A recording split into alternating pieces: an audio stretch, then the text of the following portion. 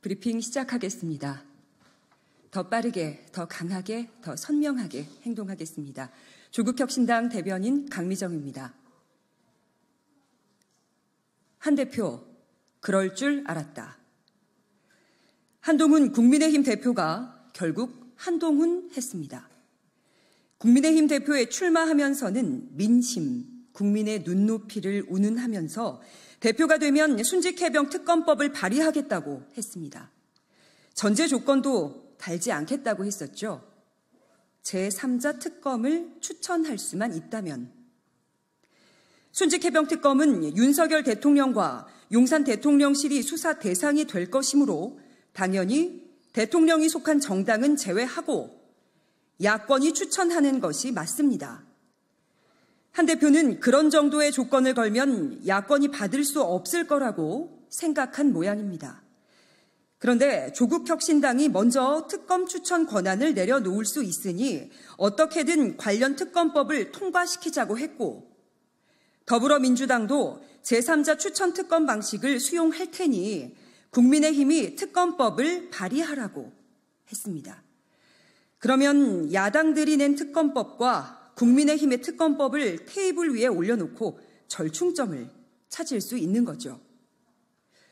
그런데 한동훈 대표는 늘 그렇듯이 또 말을 바꿉니다.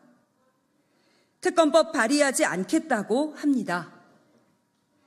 한 대표는 정 급하면 자기들이 기존 법안을 철회하고 대법원장 특검으로 새로 발의할 수 있는 것 아니냐고 합니다. 국민의힘 내부에서는 제3자 추천 방식의 특검법이 여당의 분열을 노리는 꼼수라는 말도 나오고 있습니다.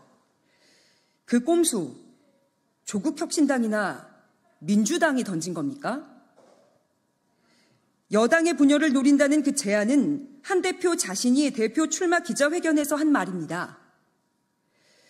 국민의힘의 대표가 되기 전에는 윤 대통령에 맞서는 이미지가 필요해서 대표가 되면 특검법 발의하겠다고 호기롭게 질러놓고 대표가 된 뒤에는 슬그머니 말을 바꾸면서 온갖 핑계대고 발 빼는 거 아닙니까?